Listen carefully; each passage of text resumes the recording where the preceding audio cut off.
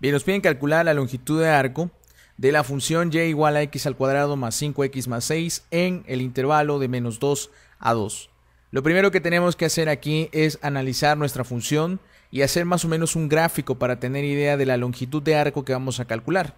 Entonces, para hacer eso, lo que yo recomiendo principalmente es empezar a factorizar esto que tenemos aquí para poder encontrar cuáles son los puntos de corte sobre el eje X.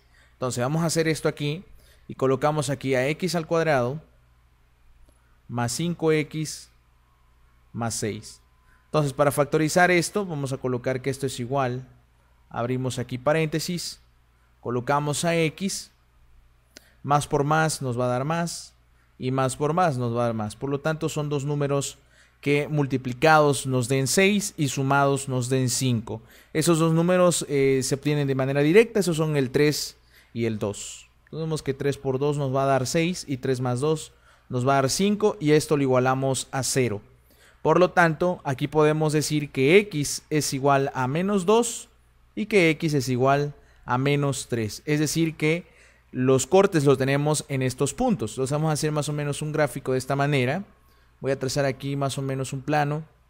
Hacemos esto así. Colocamos aquí a menos 1. Aquí a menos 2. Y aquí a menos 3. Vamos a poner aquí menos 3. Por lo tanto, estos dos puntos que vamos a encontrar son estos. Y observamos que el valor que nos piden acá de la longitud de arco tiene que empezar de menos 2 hasta el valor de 2. Vamos a poner aquí a 2. Entonces, como se trata de una parábola, esto más o menos va a tener una especie, algo así, hasta este punto. Entonces, lo que yo necesito calcular realmente es esta longitud de arco. Bueno, entonces también podemos calcular el vértice haciendo la derivada nada más de esta función. Y si hacemos la derivada de y', eso nos daría 2x más 5. Esto lo igualamos a 0. 2x más 5 lo igualamos a 0. Y observamos que el valor de x en este caso sería igual a menos 5 medios. Evaluamos este valor de menos 5 medios en la función original y esto nos daría lo siguiente. Vamos a poner aquí y igual a menos 5 medios. Esto lo elevamos al cuadrado más 5 por menos 5 medios más 6.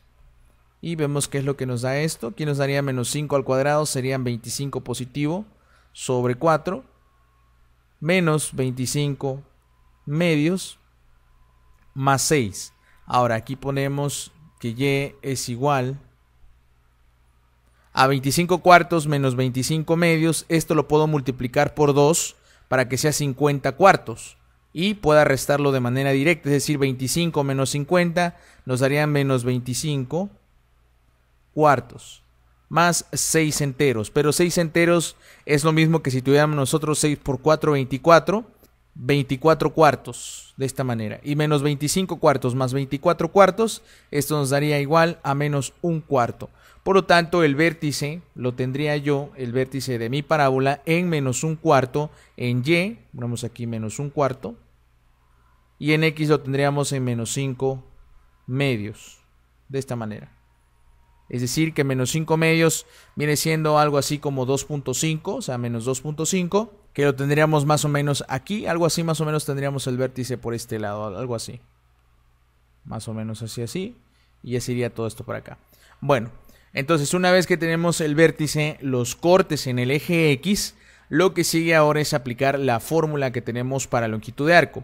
La fórmula para longitud de arco es igual, aquí ponemos a la longitud que en este caso sería de menos 2 hasta 2 de la raíz de 1 más y', es decir, la derivada al cuadrado diferencial de x. Esta es la fórmula que tenemos que usar para la longitud de arco. Aquí que tenemos un poquito desorganizado esto acá, nos damos cuenta que por ejemplo la derivada es 2x más 5. Entonces esta derivada de 2x más 5 la tengo que elevar al cuadrado, sumarle 1 y expresarla con la raíz para poder resolver la integral. Entonces vamos a colocar aquí que la longitud de arco es igual a la integral que va de menos 2 hasta 2 de la raíz de 1 más el valor de la derivada de esta función que es 2x más 5, ponemos acá 2x más 5, al cuadrado, de esta manera. Ponemos esto así, diferencial de x. Ahora, esto que está aquí nos quedaría como la integral de menos 2 hasta 2 de la raíz de 1, más el cuadrado de este binomio sería 4x cuadrada, más el doble del primero por el segundo, el doble sería 4x, por el segundo serían 4x por 5, serían 20x. Más el cuadrado del último término que sería 25. Todo esto diferencial de x, de esta manera. Ahora, la longitud entonces estaría expresada de menos 2 hasta 2 de la raíz de 4x al cuadrado más 20x más 26. De esta forma. Y prácticamente esto sería lo que tenemos que integrar. Entonces factorizamos a 4 y esto nos quedaría de la siguiente manera. Ponemos aquí a 4, x al cuadrado más 5x más 26 cuartos. De esta manera. Vemos esto así y así. ¿Ya? Prácticamente aquí lo que tenemos es la raíz de un producto y eso lo podemos separar en la raíz de 4 y la raíz de todo este trinomio. Entonces la raíz de 4 nos daría 2. Ponemos colocar aquí diferencial de x. Esto sería igual a 2 de menos 2 hasta 2 de el valor de la integral de x al cuadrado más 5x más 26 cuartos. De esta manera. Diferencial de x. ¿Ya? Estos 26 cuartos incluso lo podemos dejar como 13 medios. Vamos a hacerlo. Entonces vamos a colocar aquí dos enteros de menos 2 hasta 2 de x al cuadrado más 5x más 13 medios. Vamos a dejar expresada esta integral de esta manera.